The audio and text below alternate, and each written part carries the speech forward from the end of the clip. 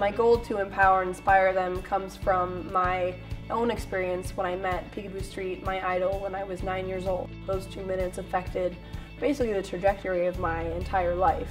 You know, I from then on wanted to be an Olympian, and so I took that same mentality and tried to create that in my foundation where I hopefully can give them the same experience, where I'm inspiring them to follow their dreams and I'm also giving them the tools that they need to be able to accomplish that.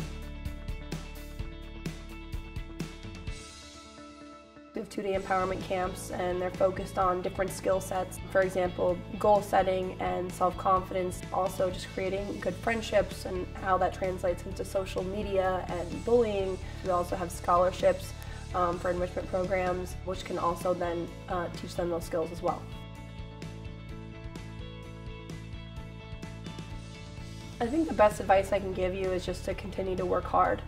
Set your goals um, high and but something that's attainable and work backwards from there. There are definitely steps that you need to take to get there. Just keep working and everything will happen the way it's supposed to.